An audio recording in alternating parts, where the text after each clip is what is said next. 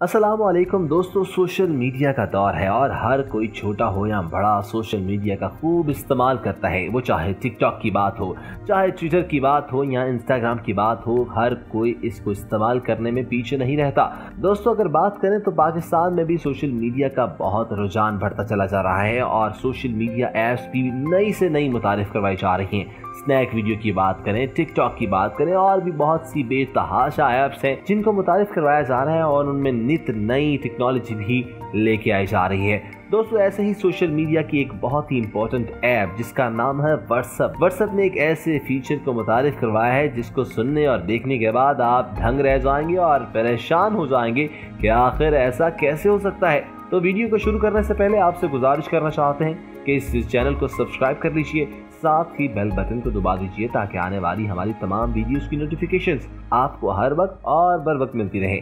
नाजिन ग्रामी व्हाट्सएप जल्द तस्वीर और वीडियोस देख लिए जाने के बाद डिलीट होने के फीचर को मुतारिफ करवा रहा है। तस्वीर और वीडियो वसूल करने वालों की तरफ़ से ये मवाद एक मरतबा देख लिए जाने के बाद फ़ोन की मेमोरी पर महफूज हुए बगैर जलील हो जाएगा। व्हाट्सएप इंतजामिया का कहना यह है कि वो सार्फिन की निजी मालूम को तहफ़ फराहम करने के लिए ये सहूलत फराहम कर रही है।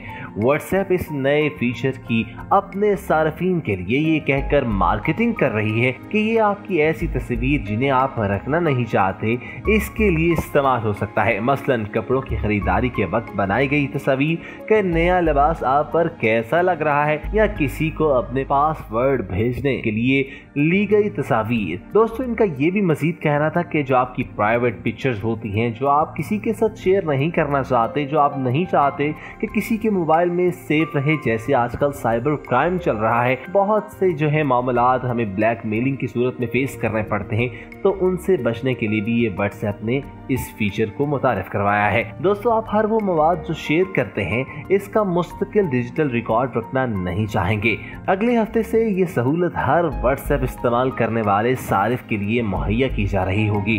सार्फिन को पता चल जाएगा कि ये पैगाम सिर्फ़ एक मरतबा ही देखा जा सकेगा, क्योंकि इसका प्रीव्यू एक हर्फ आई के बड़े आइकॉन के पीछे छिपा होगा। व्हाट्सएप नवंबर से गायब हो जाने वाले पैगाम की सहूलत फराम करेगा। पैगाम भेजने और वसूल करने वाले दोनों के अकाउंट से पैगाम सात दिनों में मिट जाएगा। और ये एक ऐसा मामला है जिस पर बरतानिया हुकूमत के लिए कानूनी मुश्किल पेश आ सकती है। तो दोस्तों, आप क्या कहते हैं कि ये फीचर व्हाट्सएप ने एक अच्छा निकाला है या नहीं? इसके बारे में अपनी राय का इजहार हमारे कमेंट सेक्शन में कीजिएगा। और साथ ही साथ ये भी कहना चाहते हैं कि अगर अभी तक आपने हमारा चैनल सब्सक्राइब नहीं किया तो इसको फ़ौरन से सब्सक्राइब कर लीजिए।